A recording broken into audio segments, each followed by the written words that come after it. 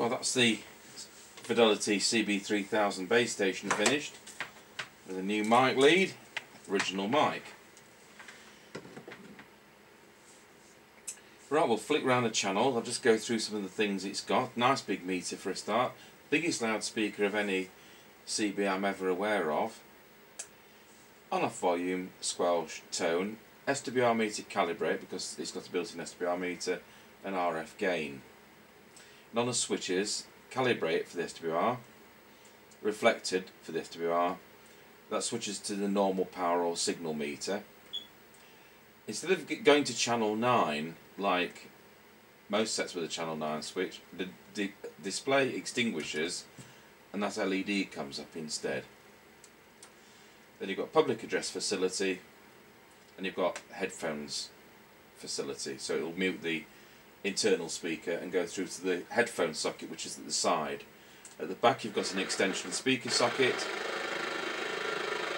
and you've got public address speaker socket and even more useful you've got a tape recorder socket and that's quite an unusual feature. At the back you've got the 10 decibel attenuator switch to knock the power from 4 watts to 0.4 watts uh, or in this radio's case 3.5 watts to 0.35 and then you've got the, the uh, usual antenna connector. So we'll drop the squelch and we'll run through the channels. As I said, we're 35 miles from the nearest city. It's much appreciated, mate. It's, it's going to make my sound, make me sound a lot better on sideband when I go on the old uh, other side, yeah.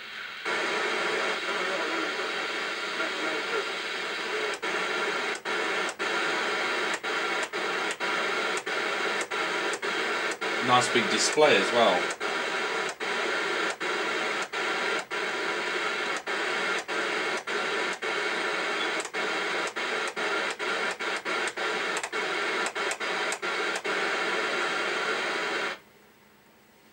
I suppose we've got to try the one nine for a Roger. It's never worked yet. One nine for a Roger.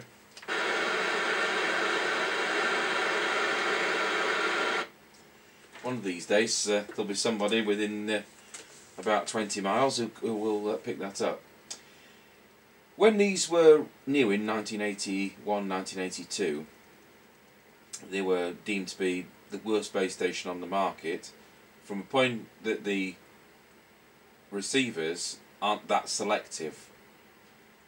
As you know, these are made by the Taiwan company, company Great, and as were the Fidelity 1000, and also one or two of the other great products came in various guises, such as the Comtel GT858 and the Comtel GT868, to name but one.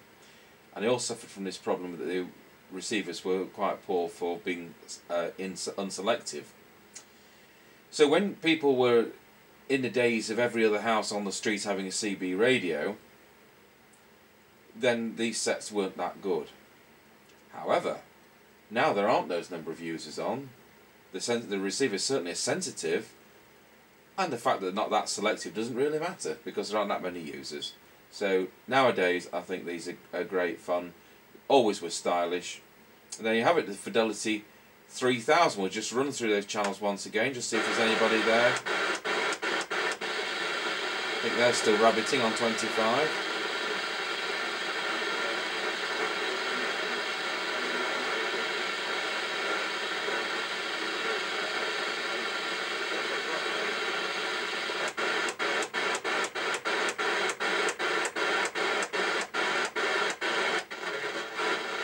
Interference. Something like SSB interference.